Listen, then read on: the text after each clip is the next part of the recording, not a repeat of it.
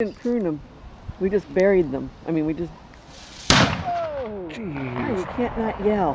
Why have earplugs? yeah. Huh? What? Huh? Exactly.